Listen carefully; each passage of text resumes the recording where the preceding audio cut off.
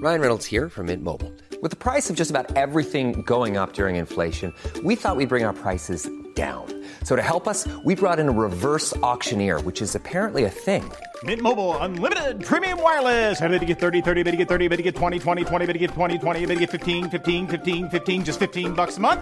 So, Give it a try at mintmobile.com slash switch. $45 upfront for three months plus taxes and fees. Promo rate for new customers for limited time. Unlimited more than 40 gigabytes per month. Slows. Full terms at mintmobile.com. Der John Sinclair Podcast.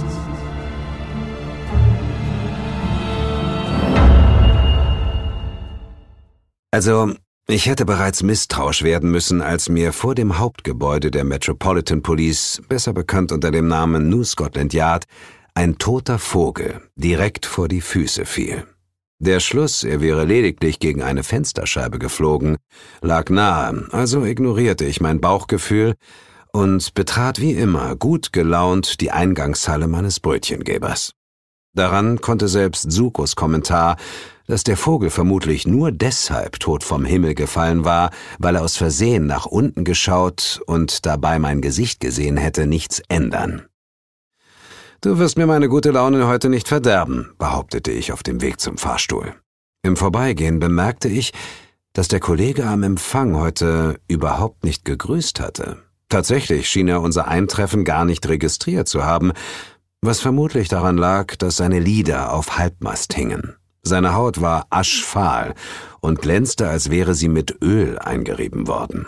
Der Kollege schwitzte wie eine ausgequetschte Pampelmuse. Und er war beileibe nicht der Einzige, der an diesem Morgen aussah wie der Tod auf Latschen. Genau genommen sahen alle Kolleginnen und Kollegen, denen wir auf dem Weg zum Büro begegneten, so aus, als gehörten sie dringend ins Bett. Oder besser noch in ein Krankenhaus. Da machte selbst unsere Sekretärin Glenda Perkins keine Ausnahme.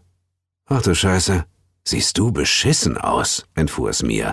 Es gelang mir gerade noch, mich mit einem lauten Hurra zur Seite zu werfen, sonst hätte mir der zielsicher geworfene Locher sicherlich einen Scheitel gezogen.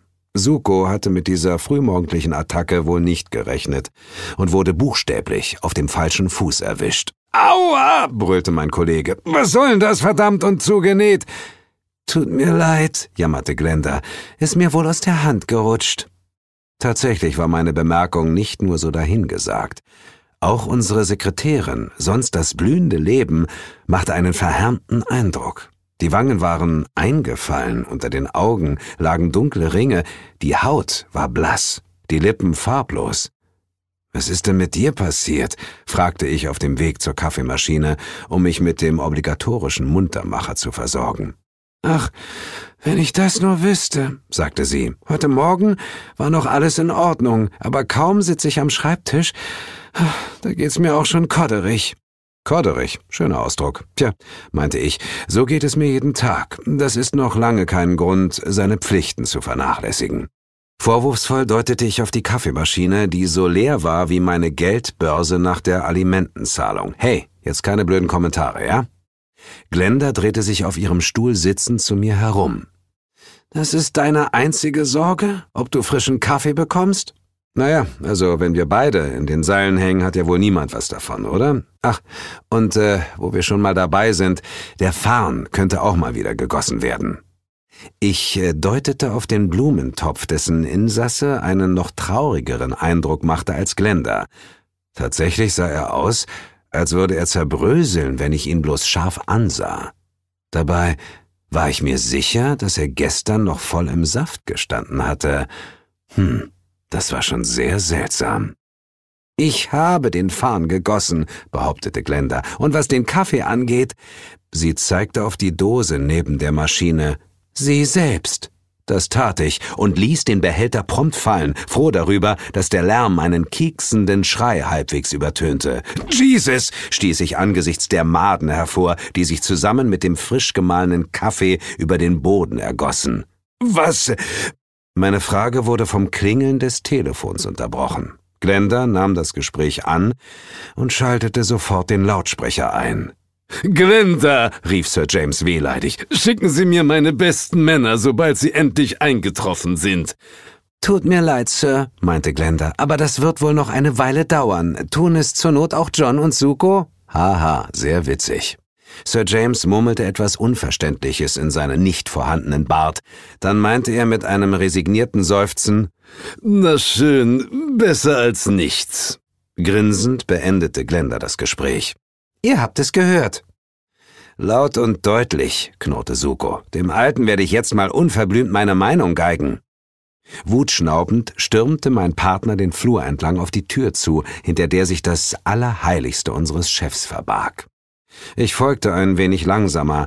Suko hämmerte wie ein Berserker gegen die Bürotür. Herein, vernahm ich die verschnupfte Stimme des Superintendents. Sir James, rief Suko mit seiner freundlichsten Arschkriecherstimme, Sie sehen mal wieder furchtbar aus. Kurz darauf hörte ich Suko quieken. Ich sah etwas vor mir in der Tür aufblitzen, dann wurde mein Partner von einer magischen Entladung getroffen, die ihn mit brachialer Wucht zurückschleuderte. Geradewegs an mir vorbei und direkt in Glenders Büro, wo Suko mit qualmenden Klamotten liegen blieb. Nicht den Laufburschen, hab ich gesagt, vernahm ich eine mir vertraute Stimme. Mir fiel es wie Schuppen aus den Haaren. Plötzlich wusste ich, was hier vor sich ging. Mit wenigen Schritten erreichte ich die Tür, stieß sie auf und erblickte nicht nur einen kreidebleichen Sir James, sondern auch eine zierliche Gestalt mit dunkelblonden Haaren, die nur mit einem ledernden Gürtel und einem Fellmantel bekleidet war.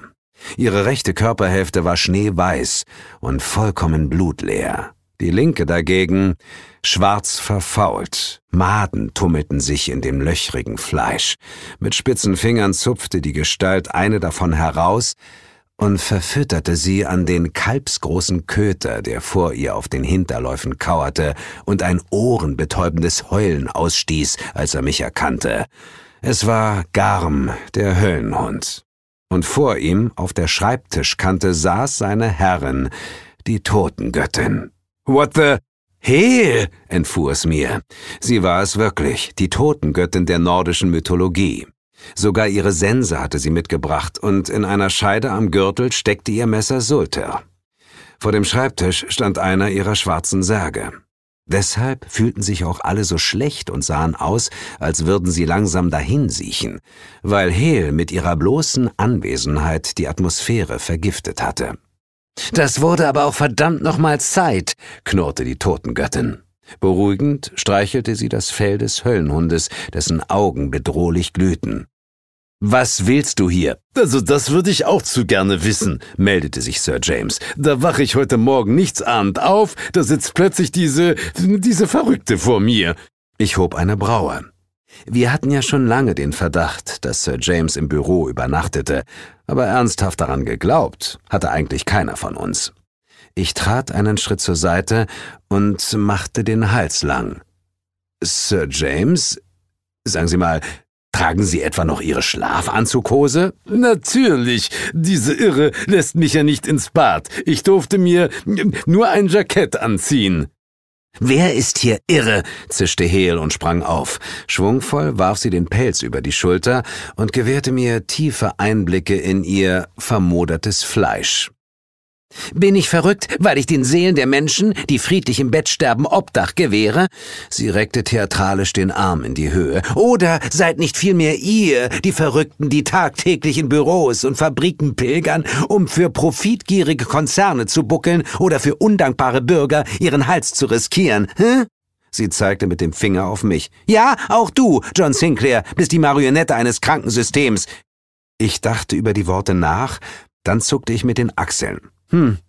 Ja, ja, stimmt irgendwie. Alles klar. Ich kündige. Ich drehte mich um und wollte gehen. Hier geblieben, donnerte Heel. Ja, verdammt. Hier geblieben, hat sie gerade gesagt, und das sage ich jetzt auch, fügte Sir James hinzu. Solange ich keine ordentliche Kündigung erhalten habe, sind Sie immer noch mein Leib. Äh, also, ich meine, Sie sind der Sohn des Lichts. Sie können nicht kündigen. Haben Sie nicht das Kleingedruckte auf der Rückseite Ihres Kreuzes gelesen? Was? Das Kleingedruckte? Der Sohn des Lichts äh, kann ich auch zu Hause sein. Oder auf Teneriffa. Da scheint wenigstens die Sonne. Heel gluckste. Ich dachte, die scheint dir aus dem Hey. Was willst du? unterbrach ich sie barsch. Wie? Ach so, ja. Plötzlich wirkte sie verlegen. Ich, äh, Also, na ja, ich könnte deine Hilfe gebrauchen. Ich war so perplex, dass ich keinen Ton hervorbrachte. Regungslos blieb ich stehen. Was nu kaputt? Murmelte Heel. Hat er das öfter? Ja, das, äh, das macht er immer, wenn es um einen neuen Auftrag geht, behauptete Sir James. Zuerst dachte ich, es wäre bloß, äh, naja, Arbeitsverweigerung, bis ich herausgefunden habe, dass sich sein Beamtenhirn aufgehängt hat. In der Regel genügen ein bis zwei Kannen Kaffee, um ihn wieder auf Betriebstemperatur zu bringen. Ein kurzer Hieb traf meinen Scheitel. Aua! Also manchmal tut es auch ein kleiner Schlag auf den Hinterkopf, krächzte Suko. Er, er roch, als hätte er in der Glut eines Osterfeuers übernachtet. Irgendwie leicht angekokelt. Ich schüttelte den Kopf. Warte mal, hab ich das gerade richtig verstanden? Du brauchst meine Hilfe? Ja, leierte Heel. Wie oft denn noch? Und wobei? Tja, das, das ist ein wenig komplizierter. Du weißt, was vor der Tür steht? Ein qualmender Chinese? Prompt kassierte ich einen weiteren Schlag. Du Hornochse, rief Suko. Sie meint Ostern, das Fest, an dem ihr Christen die Auferstehung von Jesus feiert. Mein Partner wandte sich an Heel. Was mich zu der Frage bringt, was du damit zu tun hast. Gar nichts hab ich damit zu tun. Das ist es ja.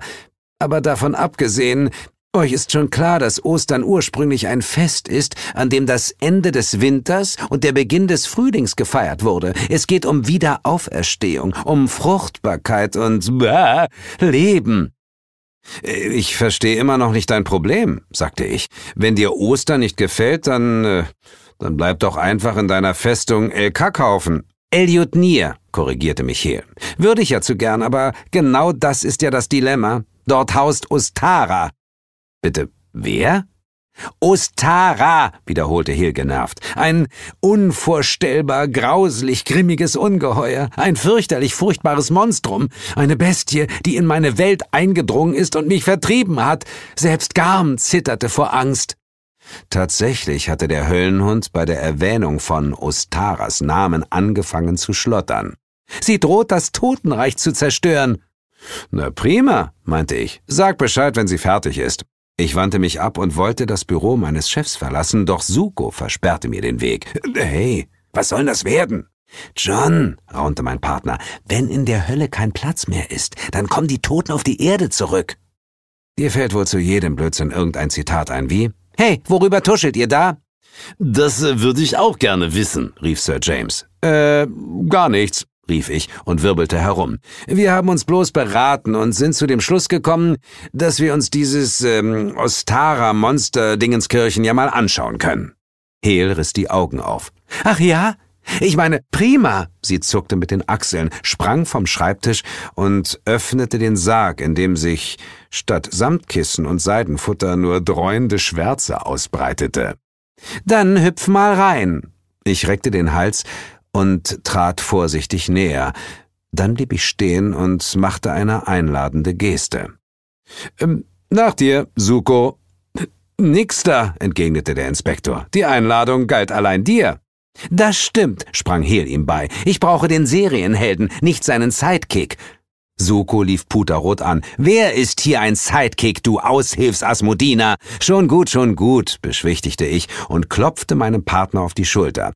Ich mach das schon, aber ich möchte, dass du Glenda noch etwas ausrichtest. Aha, und was wäre das? Ich winkte mit dem Zeigefinger.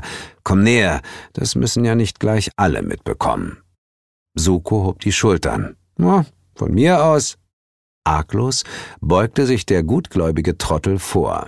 Ich tat so, als wollte ich ihm etwas ins Ohr säuseln, dann packte ich ihn am Schlafittchen, zerrte ihn auf den Sarg zu und stellte ihm sicherheitshalber noch ein Bein. Suko ruderte mit den Armen. Du Schaf, flupp! Und weg war er. Ich grinste. Was er sagen wollte war, du scheinst endlich begriffen zu haben, dass wir gleichwertige Partner sind, die sich jederzeit auf Augenhöhe begegnen. Und äh, reden Sie nicht so viel, polterte Sir James dicht hinter mir und versetzte mir einen Stoß in den Rücken. Und grüßen Sie mir die. Äh? Dummerweise hatte der Superintendent nicht mit meinen blitzschnellen Reflexen gerechnet. Noch im Fallen wirbelte ich herum, bekam meinen Chef am Revier zu packen und zerrte ihn mit mir hinunter in den Sarg. Und schlagartig wurde es schwarz um mich herum.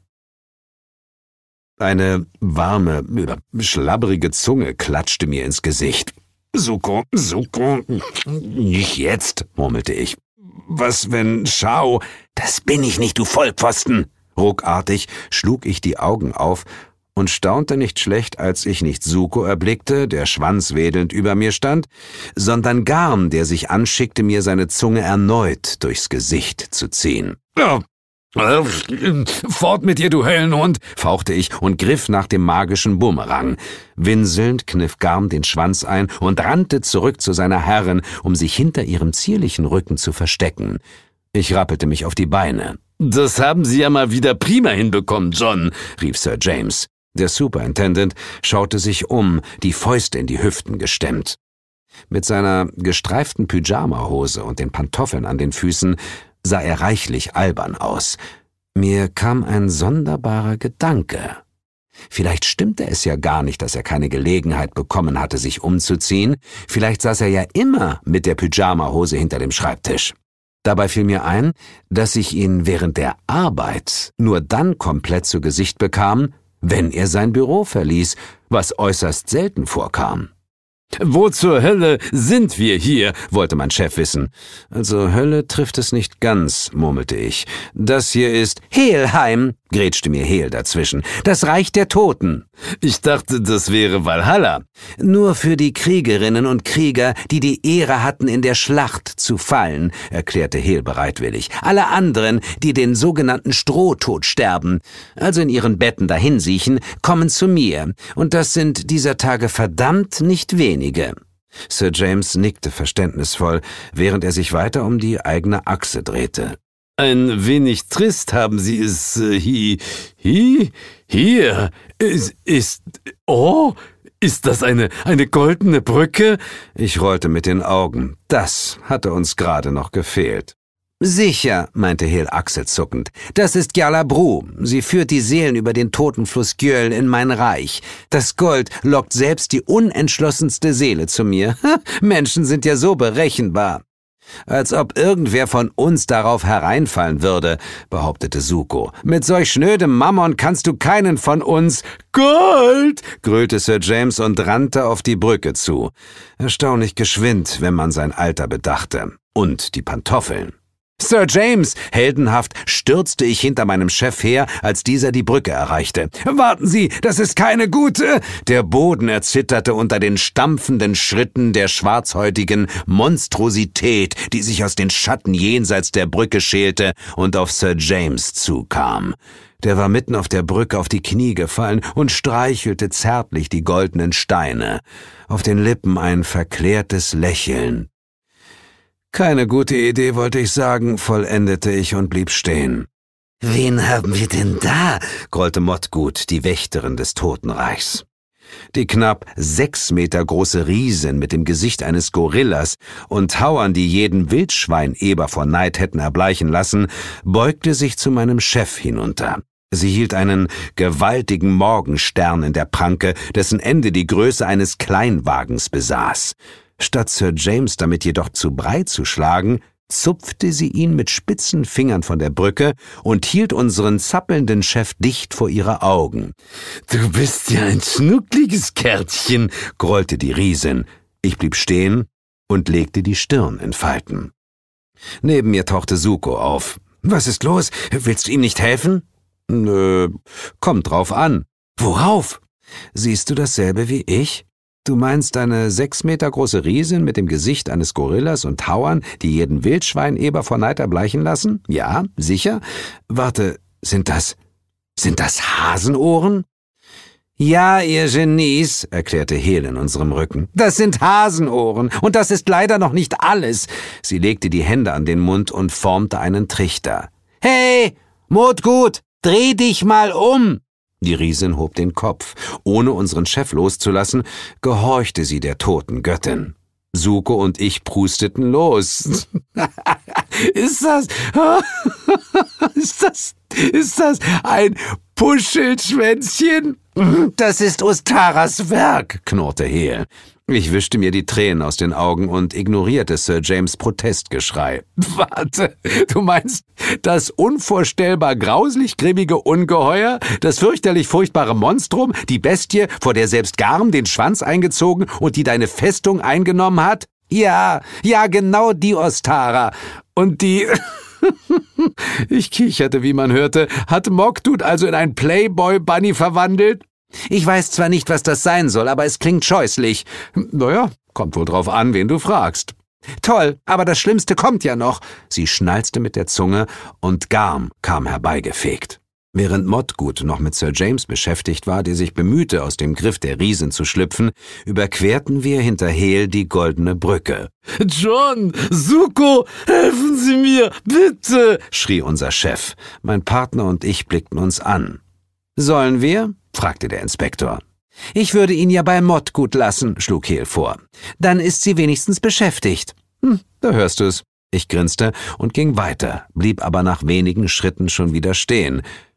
Sag mal, was ist denn hier passiert? Ich sagte ja, es ist furchtbar, jammerte Heel. Grauenvoll, um nicht zu sagen abartig und pervers. Helheim lag unterhalb der Weltenesche Yggdrasil. Entsprechend düster war es hier. Normalerweise.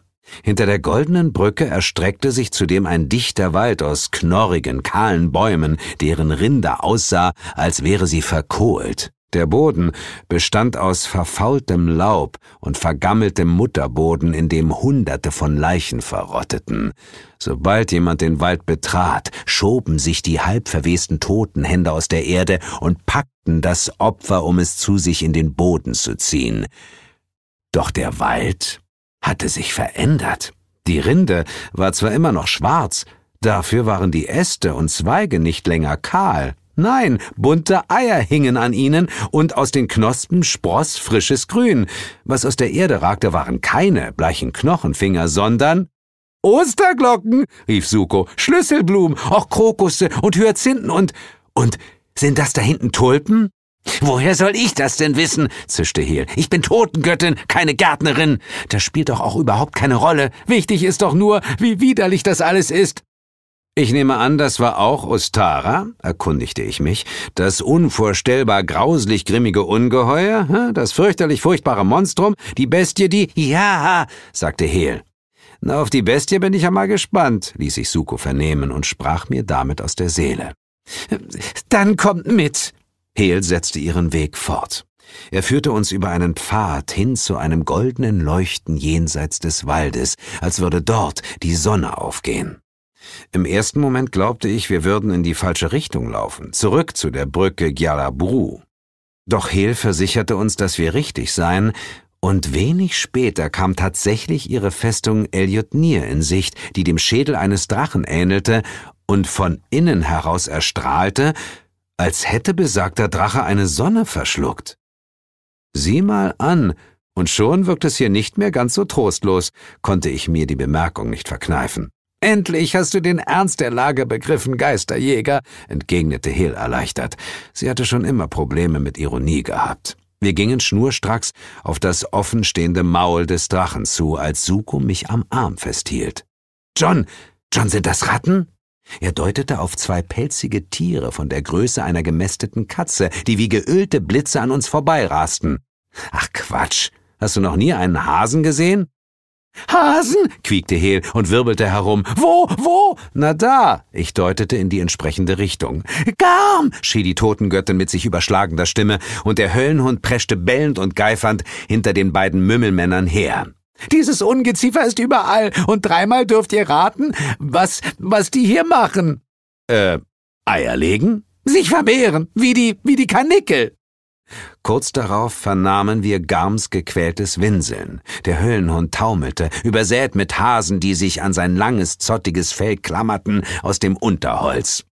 Tja, viele Hasen sind des Hundes tot, kommentierte Sugo. Wir erreichten den Eingang zu Elliot Nier, der normalerweise von einem Fallgitter versperrt wurde, das niemanden durchließ. Es hieß Fallanta Vorrat, die fallende Gefahr.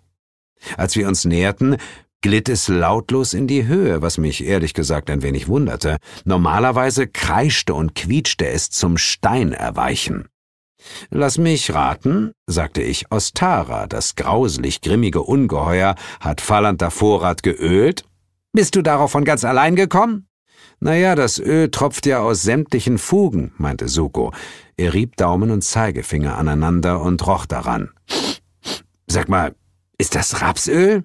Ist mir scheißegal. Hauptsache, ihr erledigt das Monster. Wartet, da vorne ist es schon. Blitzartig streckte Hel den Arm mit der Sense aus, so dass Suko und ich gegen den Stiel prallten.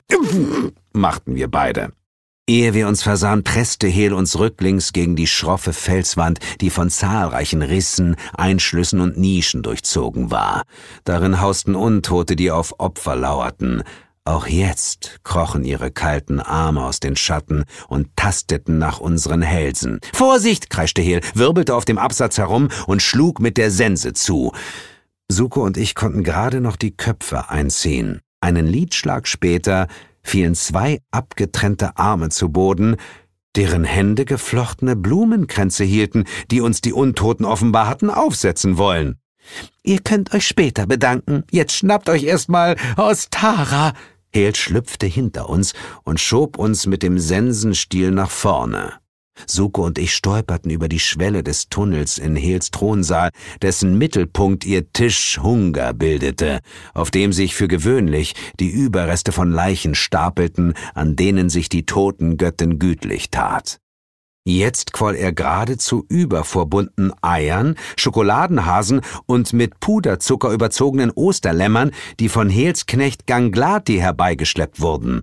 Der Oger machte keinen besonders glücklichen Eindruck, ebenso wenig wie die Magd Ganglott, ein drei Meter großes Weib mit pustliger, schrundiger Haut, aus der sämiger Eiter quoll igitt. Die Magd stand im Hintergrund des Saals vor dem Kaminofen und holte soeben eine neue Fuhre Osterlämmer hervor. Der Geruch mm, ließ mir das Wasser im Munde zusammenlaufen, ehrlich gesagt. In der Mitte des Saals, vor der Tafel mit den Leckereien, stand eine eine wunderschöne Frau mit blonden Locken, zwischen denen Blüten steckten. Sie trug ein weißes Gewand und wurde von einer Glocke aus Licht umhüllt. Schmetterlinge tanzten um ihr Haupt, Kanarienvögel, Meisen und Spatzen zwitscherten und sangen darüber. Hopp, hopp, hopp, rief die Frau mit samtweicher Stimme, keine Müdigkeit vortäuschen, schließlich sollen alle satt werden. Ich ließ den Blick durch den Saal schweifen, auf der Suche nach dem grauslich grimmigen Ungeheuer, dem fürchterlich furchtbaren Monster. Da ich es nicht fand, drehte ich mich zu Hel um. Äh, sag mal, wo ist denn deine komische Bestie? Hel starrte mich an, als hätte ich den Verstand verloren. Sie stieß mich zur Seite und deutete mit der Sense auf die blonde Frau. Na, da steht sie doch, du Kanaille. Bist du blind oder was? Jetzt nimm schon deinen verflixten Bumerang oder was weiß ich und schlag ihr den Kopf ab. Schnell! In diesem Augenblick drehte sich Ostara um. Ach, da bist du ja endlich. Wir haben dich schon vermisst. Lächelnd schwebte sie auf uns zu, samt Schmetterlinge und zwitschernder Vögel. Igitt, machte Hel und versteckte sich hinter mir. Bleib mir vom Leib, du Ungeheuer. Warte mal, warte mal, sagte ich und deutete auf die Frau. Das ist Ostara? Die blonde Schönheit ergriff meine Hand, und mich durchströmte ein warmes Gefühl. So ist es. Und ich freue mich so sehr, Sie endlich kennenzulernen. Sie müssen John Sinclair sein. Hale hat mir schon so viel von Ihnen erzählt. Ach, echt? sagte ich und trat zur Seite. Uns hat sie überhaupt nichts erzählt. Mit einem beherzten Satz suchte Hel hinter Sukos breitem Rücken Deckung. Nimm die Peitsche, schrie sie. Nimm die Peitsche! Na los, nimm sie schon! Als mein Partner nicht reagierte, schob Hel ihre verfaulte Totenhand unter seine Jacke. Finger weg, rief er und klopfte ihr auf selbige. Ach, Hel, meinte Ostara tadelnd und stemmte die Hände in die Hüften. Es ist doch jedes Jahr das Gleiche mit dir. Du tust gerade so, als würde ich dich foltern. Dabei bringe ich doch bloß ein wenig Leben in die Bude. Das ist es ja, kreischte Hel. Das hier ist das Verpiep Totenreich. Hier gibt es kein Verpiep Leben. Hier gibt es nur Elend und Not und ein wenig Trübsal. Ostara winkte ab. Hören Sie gar nicht auf meine Cousine. Hel war schon immer ein wenig. Ach, Sie wedelte mit der Hand und suchte nach den richtigen Worten. Äh, wunderlich, half ich aus, und Ostara nickte. Kauzig?